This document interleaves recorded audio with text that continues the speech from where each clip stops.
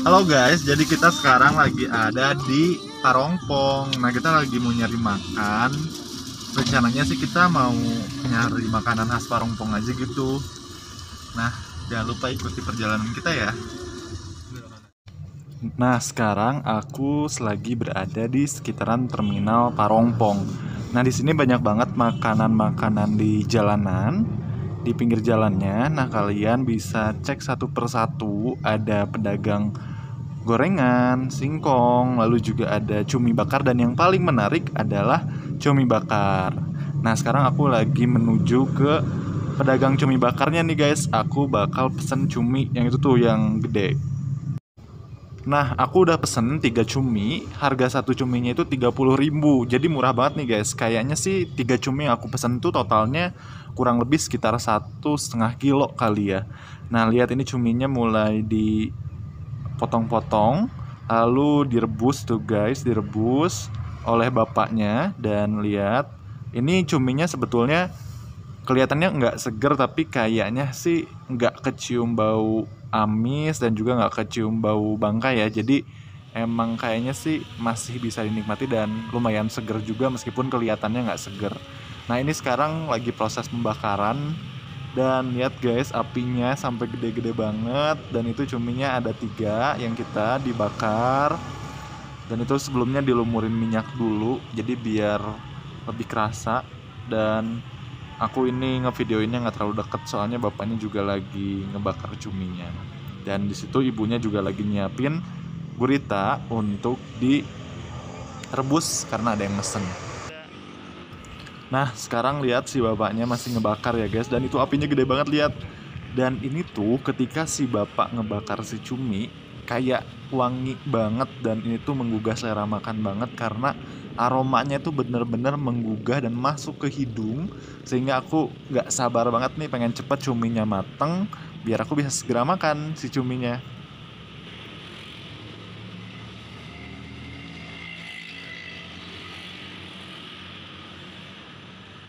Nah sekarang kayaknya sih baru setengah mateng ya Dan si bapaknya masih ngebolak balik si cumi Biar betul-betul matangnya merata sehingga bisa dinikmati oleh aku dan teman-teman aku yang lain si cuminya. Nah, cuminya sekarang udah dilumuri sama saus sambal gitu. Jadi biar makin enak pas dimakan, lihat warna cuminya sekarang udah sedikit kemerahan gitu ya guys ya. Karena udah dilumuri sama sambal dan ini aromanya makin makin menusuk ke hidung dan bikin aku pengen segera makan. Pokoknya menggugah selera makan banget deh si Cumi lihat si bapak kayak nggak ada takut-takutnya gitu ya. Padahal apinya itu ke mana-mana. Pokoknya enak banget kayaknya sih guys. Dan akhirnya selesai. Si bapak ini lagi nyimpen cuminya. Lihat itu udah ada bumbu-bumbunya dimasukin ke wadah. Dan juga lalu ditambahin lagi sama sambal mayones saus. Jadi biar makin nikmat untuk aku dan teman-teman aku mengkonsumsi si cuminya dan akhirnya jadi guys. Lalu setelah aku dapat pesanan cuminya aku menuju ke mobil untuk nyari tempat di mana aku akan makan si cumi ini. Dan gak sabar banget pengen segera makan cuminya. Tadi tadi kita muter-muter nyari tempat mau makannya di mana dan akhirnya kita sampai di Villa Bunga. Dan kita mau makan cumi yang tadi kita udah beli. Nah guys jadi sekarang kita mau makan cuminya. Kalian bisa lihat Giping, lihat, kelihatan kan? Nah, kamu makan cuminya? Apa kan? ya ampun, jalan ya.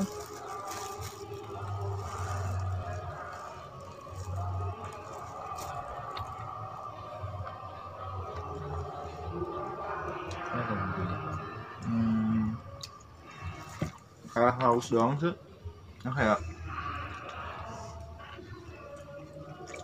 haus aja gitu. No.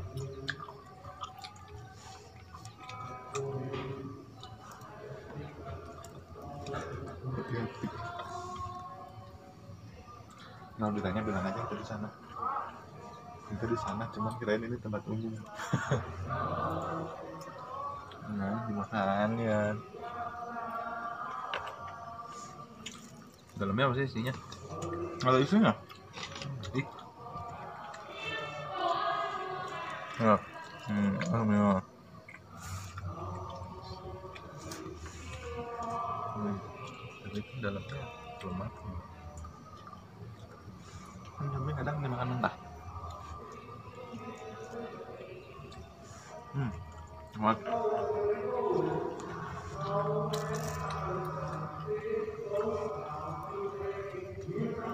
Enak. mantap Mas. bisa nggak sih potongnya Baik.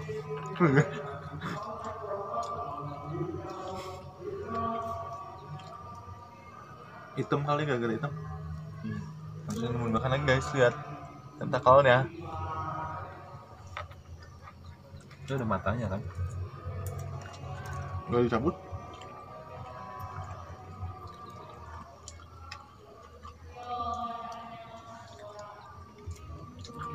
jadi masih kenyal-kenyal gitu.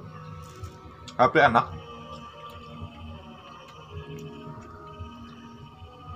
Meskipun cuminya kelihatan nggak seger tapi nggak bau amis dan juga nggak bau bangke. Jadi enak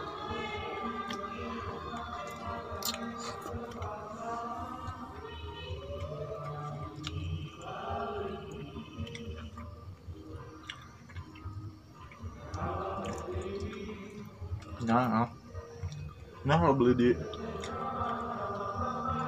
yang kita yang kemarin itu cuma 23.000 ribu. Yang mana? yang waktu kemarin. Yang di dapur ya. Tapi nggak gede. nggak tahu. Terus sana deh. Tapi nggak bisa makan di sana. Ini kira berapa kilo ya? Hmm, Dua. sekilo deh tiga tadi. Tiga sekilo lebih. Oh iya, ini berat tau. oh iya.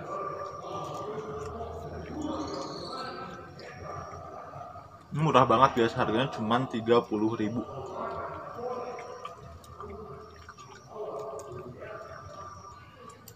Tapi agak gosong cuman ya namanya juga dibakar.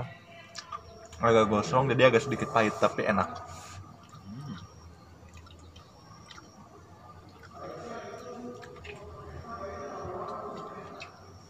pokoknya buat kalian yang pengen liburan yang pengen healing karena capek mentalnya capek mentalnya lelah rekomendasi banget tempatnya di Villa Istana Bunga. Karena tempatnya sejuk terus juga pemandangannya bagus ada gunung-gunung ada tumbuhan-tumbuhan jadi kalian bisa menyegarkan mata kalian ataupun menyegarkan tubuh kalian yang lagi capek. Ditambah sebelum berangkat ke Villa Bunganya eh, sebelum belokan itu ada terminal Parompong. Nah, di sana tuh banyak penjual makanan itu di pinggir jalan. Nah, kalian beli cumi bakar di sana enak banget. Di sana nggak cuma ada cumi aja sih, ada kerang, ada gurita, ada udang juga yang dibakar. Jadi enak banget.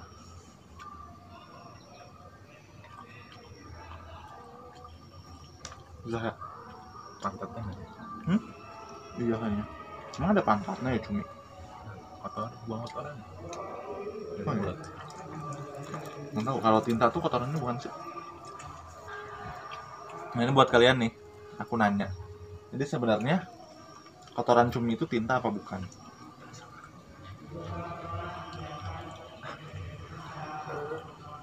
Oh segini ya? Nah. Sebisanya. Yang suka di tengah-tengah itu nggak ada. Ih nggak ada, udah dibuang. Nah kalau gede kayaknya kotor di sini. Nah lihat ini gede, tuh dimakan, masih merah gini.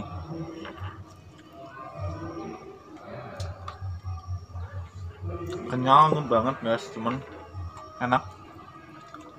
Masih kerasa segernya, nggak bau.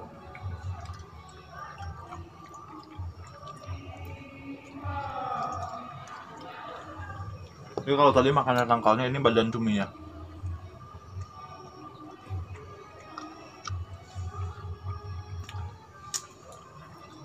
Dan di sini ada ini ada yang nikahan gitu deh.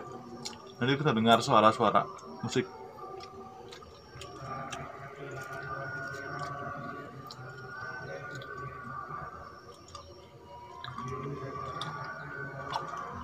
Hmm.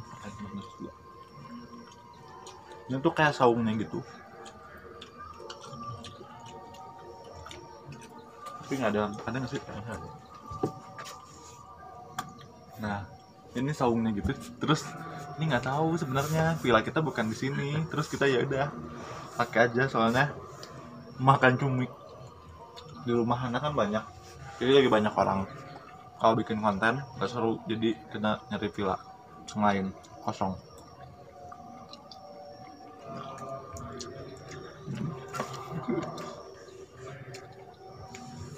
Pokoknya kalian wajib cobain. Enak banget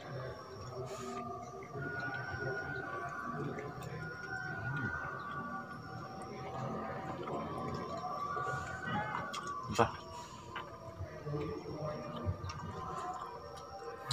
CCTV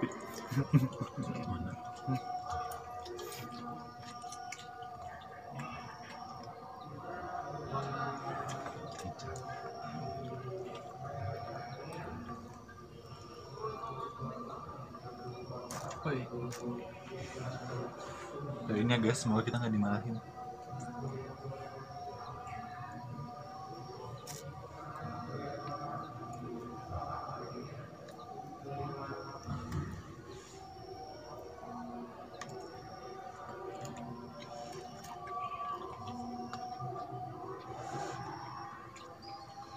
Bilangnya tempat umum, kalian tempat umum pak.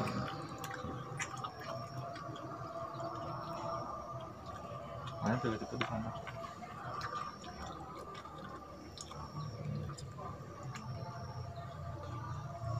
Nyamperin kita. Bukan.